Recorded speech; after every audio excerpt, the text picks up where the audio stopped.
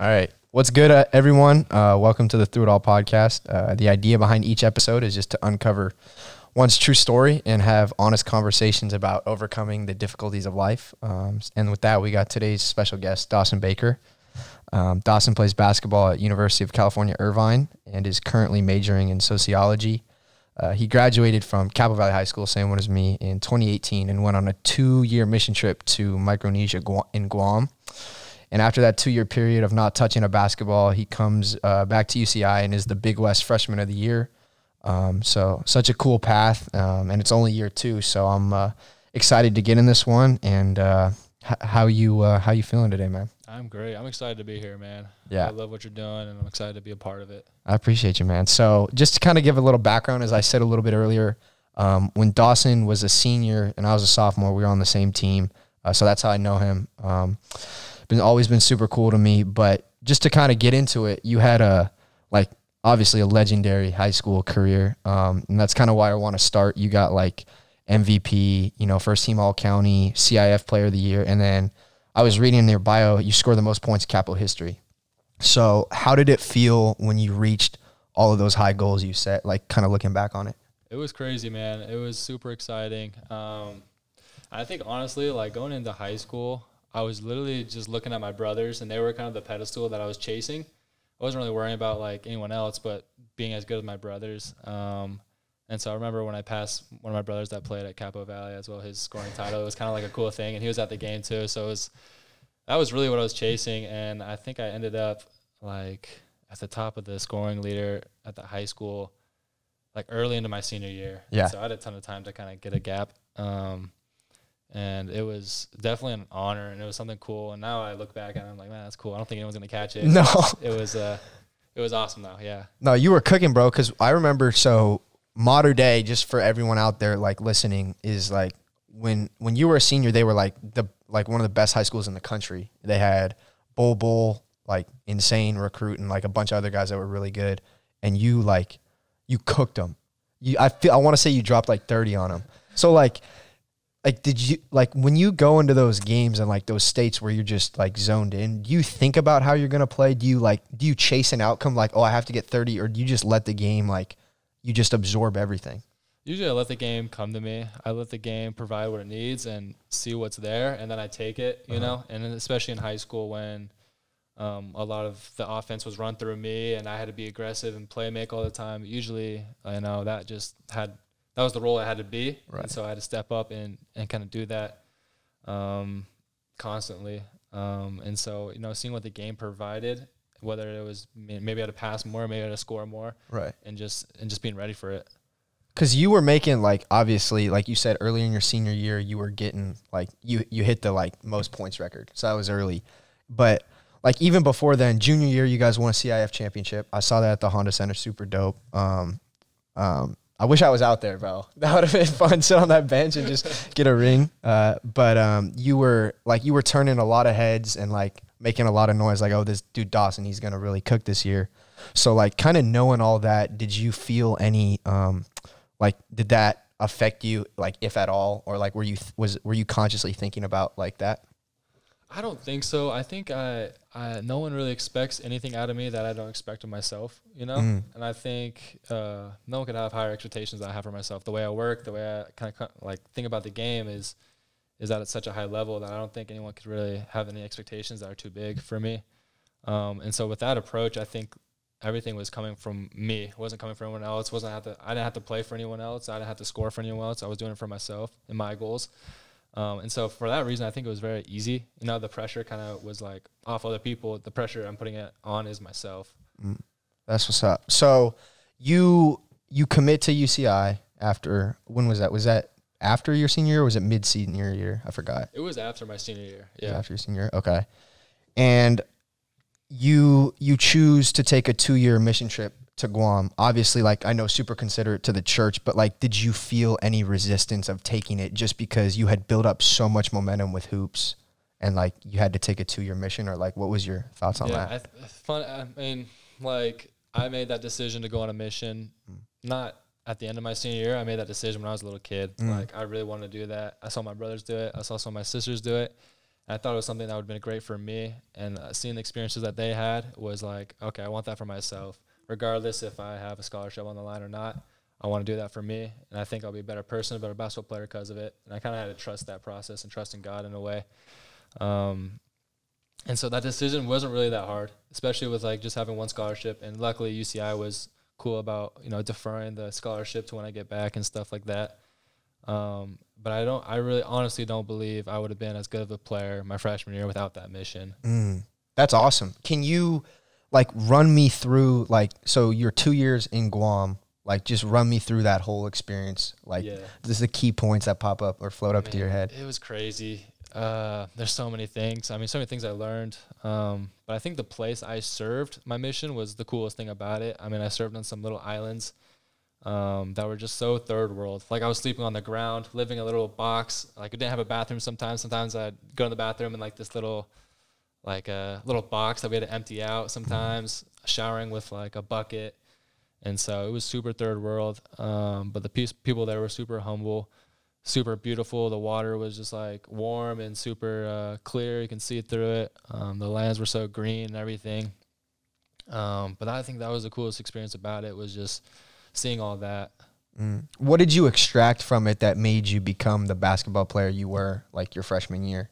A lot of it was just mentality. I think. I think my appreciation for the game really went up when I didn't have it. Mm, You know, yeah. once once you lose something, you really kind of sit back and, and think about, man, that's that's something that I really, I really cherish and really want to take advantage of when I come back.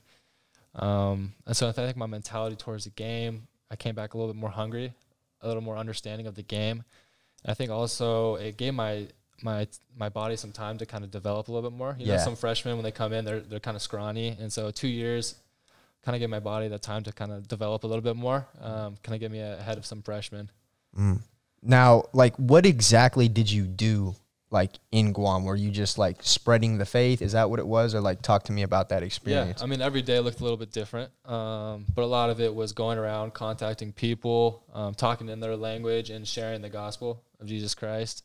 And that came in many forms. Sometimes it was service. Sometimes it was helping people with whatever they're doing. Um, if there was like a typhoon or a storm, their house broke down, you're helping them like kind of fix up their house again, or you're trying to share about Jesus Christ because Yeah. a lot of them don't really know that much about Jesus Christ. Yeah.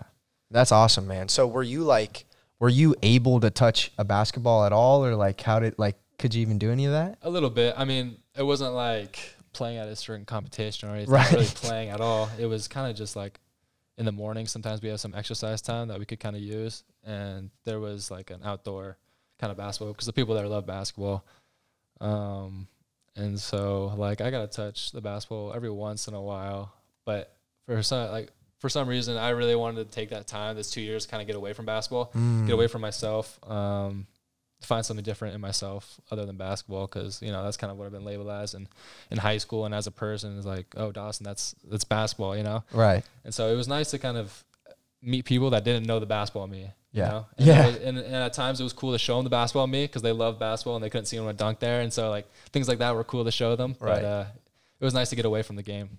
That's dope, man. Were you like were you able to stay in contact with like your family cuz I know there was like it was email, right? Yeah. But yeah. could you like text, go on social media like how did that work? Uh, not really. So the place that I mean I was staying was super um, indigenous, like I was saying, and so a lot of times I was writing letters that would kind of take months to get to my family. Wow.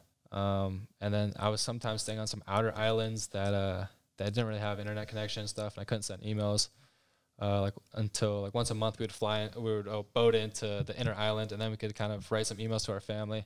But I only video called my family four times total on my whole mission. So what like obviously I know you said you were committed to your faith and all that, but like if if and when there were times where you like were did you feel like you were missing out or a oh I wonder what's going back on at home or I wish I could just be here for a little bit, you know, like what was your kind of mentality to accept that reality and move with it? yeah, it's definitely it was definitely a challenge, especially at first when you're first adjusting to it. Um, but the biggest thing I think that helped me the most was just changing your mindset from just a normal person to a missionary, um, and that lifestyle, and just committing to it, like anything you do. Um, but there definitely was some things back home that happened that kind of like, oh man, I wish I, I wish I was able, able to be a part of that. Like UC Irvine, they went into the March Madness and they upset a team Yes. the year that Yes. I could have been there. Yeah. Um, and so things like that are like, oh shoot.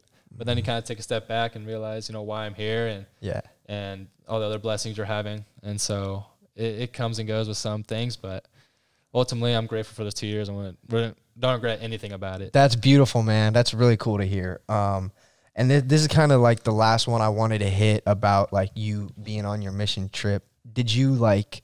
Was there ever a thought or wonderment of a what? Am I gonna be like the Dawson I was like in high school? Can I get back to it? Did that ever like run your mind or or no? It did. It did. And that was a hard part, uh, especially when you don't touch a basketball for that long. You don't really play against anyone your size or any competition. You kind of just lose faith a little bit in, in yourself. Almost like, man, do I still like play this game? Like, um, and so when I first came back, I was a little worried, and I wasn't expecting to. I was thought I was gonna maybe take a redshirt year, trying to get like a feel for the game, because that's usually what happens with missionaries when they come back um, to play sports. Um, but I remember I go, I went in the when I first came home, I went in the gym and I kind of just shot by myself, and just it was just like riding a bike. I'm like, okay, like I know how to do this, like Yeah. whatever. I went to go play pickup with some guys, some professional overseas guys, and I played pretty good. And I was one time where I was like, okay, like I can play still. Right. And it slowly just took small increments, small steps. Finally, just like, yeah, like I still got this kind of thing. And I was even better. I felt, I felt like I was better than I was in high school. Mm.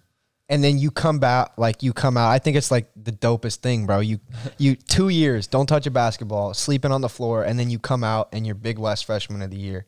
Like I know you're a super humble dude, obviously, but like, tell us what that meant to you. Not necessarily the award, but the process getting to that point.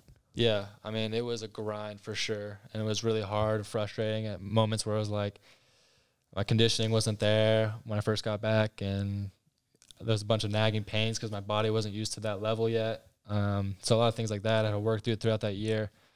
Um, and I just remember at the end of that year, we we lost in the championship game of our tournament, and I had just tears of just almost joy Uh-huh. that I just did so much that year. I was so grateful for like kind of the opportunity I had at UC Irvine. Grateful for how I took advantage of it and and the year I had. It was just it was more than I could even imagine. Yeah. And and first of all, that's awesome, man. Like super cool. I was tuning in, like I was telling you earlier, like I was watching as many games as I could or that I knew about and I just like I turn on the channel, you guys are playing USC and then it's Dawson Baker, three pointer.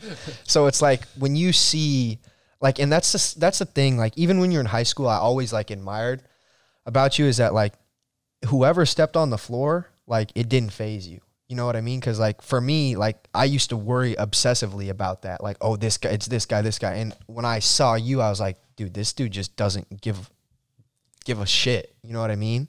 Like you see Bol Bol and you're like, all right, I'm gonna cook him, and then you drop thirty and we beat Mater Dei or whatever.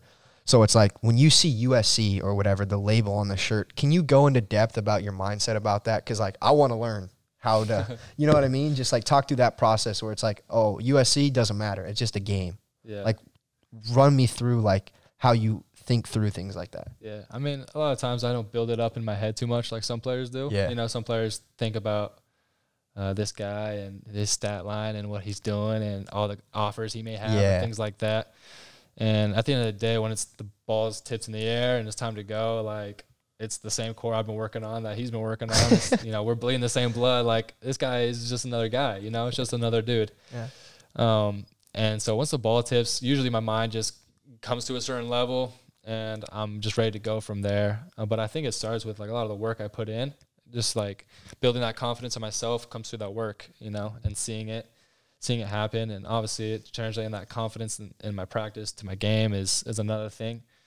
Um, but at the end of the day, I feel like when, once the ball's on the floor and we're, we're going at it, like I, I like my odds against anyone. And that's just how my mind's always been. Yeah. And and that just comes from like trusting the work and the humble repetition that you've kind of put in. So like when you let's say like you're going through cuz obviously you ebb and flow in the season regardless. Like and you're at a low, right? What moments do you reflect back on of your like path and like you kind of use it to draw a little bit of strength like oh yeah, yeah I've been here before like this can help me out right now to get me through this point if that makes right, sense. Right. Yeah. I think it depends on the aspect of the game I might be struggling with, and whether that be shooting or whether that be kind of a little sloppy with the ball, things like that. And usually, kind of after practice, I'll put that work in just to give myself a little confidence that like you know I put the work in. I deserve to play good now. You know, Mm-hmm. kind of building that with myself, that trust with myself. Um, but I always draw back to like you know maybe a good game that I had. Like man, I could do this against Yeah. so and so. I can I can you know I can pick it back up. Yeah. and kind of building that self confidence again. Nice, man. So going off of work, what is your like what's the your favorite place to ever hoop? Like that'll just put you in the calmest state and not a game necessarily, but more like it's it's just Dawson with his headphones or whatever. I don't know if you use music, but where are you going? Usually it's my church because all Mm. the churches have a bill or a, a basketball court in it, Uh-huh. and so my home church, um, back where I'm from, is kind of a place I've grown up in. Uh-huh. Grown up working with my brothers in there, going by myself there in high school, um, and that's probably the most hours I spent in a gym was in that gym, and so I'm, that's like a home to me. It's more, it's more of a comfort zone for me. Yeah. Um, so that's definitely the place where like I can just like let my mind go and just hoop. That's awesome, man. I remember um I was at my boy Will's house when I was real like little or whatever, and your neighbors with him, and then it was like late at night or whatever, and we just see like you shooting on the your neighbor's court. I forgot That's what it another. was. That's another court. That's a great one. Yeah, I was gonna say that. And it was just like they had lights up, and Yeah. and Will and I were just like peeking through the fence, like, oh, there's Dawson just getting buckets. But that's really cool, um, because I've seen it all through high school and whatever. Um, so just kind of transitioning like to your ultimate dream with basketball. Like heard about like what led you to this point, and like no strings attached. Dawson Baker, what do you what do you what do you want to do with basketball? Um, I don't think I have a set goal. I Mhm. think I just want to take it as far as I can go with it, um, and let the journey kind of just go where where it may lead, um, and wherever that be. Um, and I I don't know where that's gonna be, and that's the kind of exciting part about it, you know. Um, but I think as long as I'm doing what I'm doing, continue to get better, continue to learn, you know, I think the sky's the limit. I think I could go um, play anywhere for for a little bit. Um, and part of me is excited for the part where like I could kind of acknowledge I've done everything I can do with basketball. You know, I've I became the best version of me in basketball that Yeah. I can be, and kind of move on with my life in a way. Mhm. Um, but you know, I, I do want to play professionally in somewhere that might be overseas, that might be here, wherever that is. Um, I'm excited for it, and I'm down for the journey as my my body allows it. Yeah, that's awesome, man. At what point in your career did you feel like the most adversity? Like aside from the mission, Yeah. like just specifically on the court. It could be coming back from it, but where did you feel like the most struggle for you? Honestly, it was in high school. Either there's two points probably. Probably my freshman year in high school when I played varsity was a little bit hard just because I was used to playing with eighth graders, then playing with like full on seniors. Yeah. It was just a big jump. Um, and I really wasn't that skilled. Like, you know, some players nowadays, like before they even touch high school, they're doing like they're doing like one on one sessions with NBA trainers, yeah. like crazy stuff. Like I did none of that. I taught myself how to play. I did all that myself. Yeah. And with my brothers and my dad, that's the only ones that really kind of, you know. yeah. And so I was very raw coming into that experience, and that first year taught me a lot. Um, so that was one, and also playing club. I played at a very like prestigious club, Dream Vision. Yep. Um, and so we were going to tournaments where we're playing like guys are NBA now, like just dudes. Like we were playing against some of the great greatest players in the country out of high school, and I was just kind of that was the only team I didn't start on Uh-huh. and there was just a ton of guys on our team, and obviously club basketball a little biased towards players Right. and stuff like that, and so all the politics of basketball kind of bothered me, and my confidence was kind of shocked a little bit Mm. in that in that situation. Um, and so those were probably two times where I was probably at the lowest points basketball wise for me, where I was like, man, I, I'm in a rut, or I'm something I need to figure out here. Mm, that's yeah. I I remember that you guys would practice at uh, Capo sometimes Yeah. with Dream Vision. So that kind of like, what did you? What did you? What was your biggest like? I don't know, teaching moment that you got out of the club basketball scene? Because I remember like I saw a practice and like, like you were you sh- you sh- you should have started. You know what I mean? Yeah, yeah. And that was kind of the thing. That's kind of just the eye opener for me of the politics of basketball, whatever it may be, because that was the only team I was really like, I just never started on, you know? Yeah. And sometimes you have a coach that just might not trust in you all the way or just will rather play someone else or look a different way in the system. Um, and I think for me, I mean, that, that was a huge confidence builder in the other hand, where like I played against some of the best players, you know, in in high school.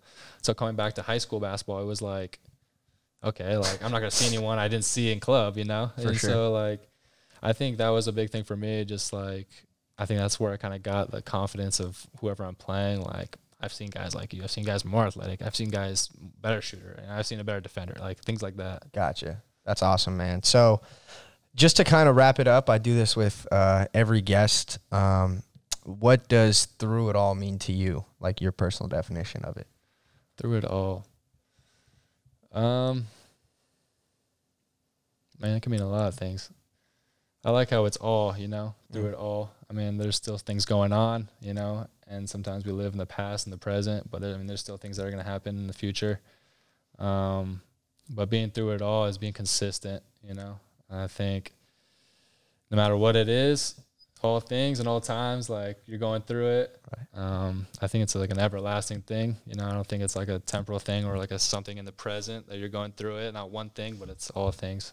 That's beautiful definition. I love that one. Um, now, three questions at the end that I kind of like to finish up with. Um, so, the first one if you could have lunch with any three people in this world, they could be present or they could be from the past, what people would you invite? And then what would you get to eat? Okay. All right. I'll start with the people. Actually, I'll start with the food. Be easier, probably. It's gonna be something Mexican for sure. That's my favorite type of food. Um, maybe some like sweet pork. Maybe Okay. some like sweet pork taco- tacos. Nice. I like that. Um, and people, I would for sure have Kobe Bryant. Um, that's kind of been an idol for me, someone I looked up to my whole life, and kind of been my hero in a way. Um, so that's one person for sure would be there. And this is this is all the same the same uh, meal, all these people, or is Yeah. this like okay, Yeah, yeah. all right. So make sure there's no beef in between the people I you know. Uh, can we put Jesus Christ in there? Yeah. Dang. Throw Jesus in Yeah, there. Jesus in there. Jesus and Kobe would be great. I love it. One two right there. Uh, That's a good one. ah, man, one more. Might need someone to lighten the mood a little bit. Might be a little serious in there. That's tough. One more. How, how about I put my grandpa? Because I've never met him. He passed away before I was born, and so I feel like that'd be a cool experience. That's awesome, man. Yeah. Great answer. Great answer. Great, great group. Okay. Uh, the next one, we're gonna switch it up a little bit. Okay. Favorite Disney princess. First one comes to mind is Cinderella. I want to say that.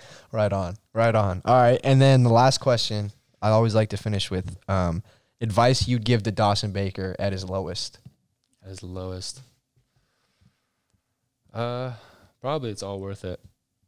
And I think it's a simple statement that kind of it goes deep. You know, everything I'm doing is worth it, no matter what it is. Um, and enjoy the ride. I mean, on this bracelet, it says "Find joy in the journey." Mm. I always wear it. Um, and so that's something I think uh, it's a good constant reminder. Yeah. That's awesome, man. Young D Bake. Young D Bake. Young D Bake. Is there anything else you want to add before we? Because that was it. That was the last one. No, man, that was that was great. Excited That's to be here, fun. man. Thanks, man. We're good.